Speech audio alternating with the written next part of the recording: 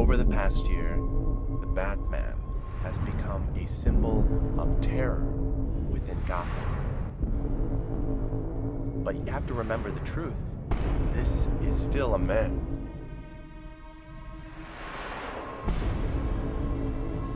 I take riddles like these and I solve them.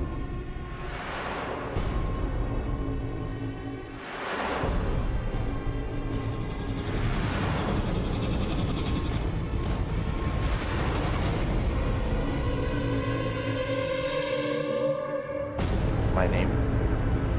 I'm Edward. I'm the hero of the story.